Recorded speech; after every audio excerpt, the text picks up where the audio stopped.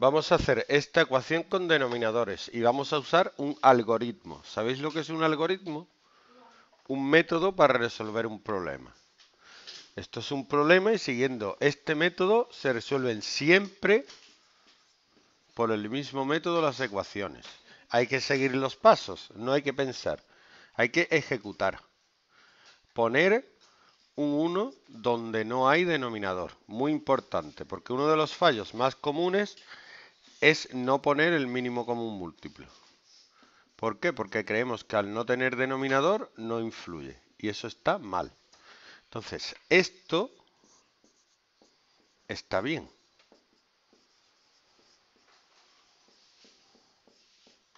No hace falta, bueno, no hace falta... 2. Hacer el mínimo común múltiplo de los denominadores. El mínimo común múltiplo es 2.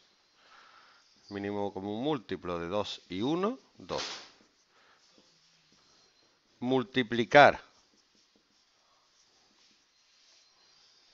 Cada término, que es un término? Un término es cada una de las fracciones que van aquí. Esto es un término. Ojo con el signo. También forma parte del número, en este caso del término. Multiplicar cada término por el mínimo común múltiplo. Sería 2 por x partido 2 menos 2 por 1 partido 1 igual a 2 por 5 partido 1 menos 2 por x partido 1. Luego, se divide. Se divide. Dividir el mínimo común múltiplo que acabamos de meter entre el denominador. Y lo que da se pone. 2 entre 2 1 por x, x. 2 menos 2 entre 1, 2 por 1, 2. 2 entre 1, 2 por 5, 10. 2 entre 1, 2 por x,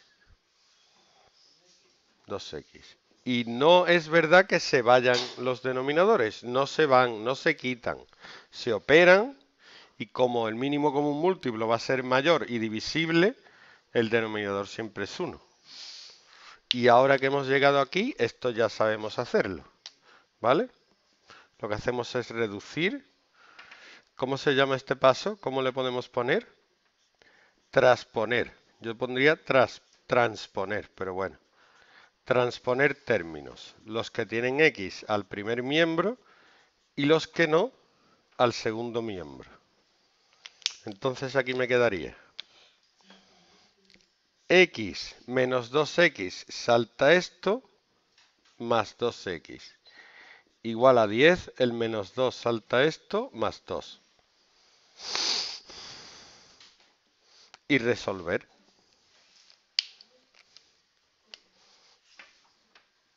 Seis. Operar. Me queda 3x igual a 12 y de aquí me queda x igual a 12 partido 3, con lo cual x es 4. Repito, yo digo que no hay que pensar y realmente no hay que pensar. Hay que operar, operar, operar, operar. Sí, es tan simple. Lo que pasa es que nunca te lo han explicado mm, así. ¿Qué pasa? Que en clase tú tienes un montón de compañeros y el profesor intenta explicarlo de modo que se entere la mayor cantidad de gente posible. Entonces a lo mejor a ti no te pilla. Entonces tú tienes la oportunidad de levantar tu mano y decir, profe, ¿lo puedes explicar de otra manera?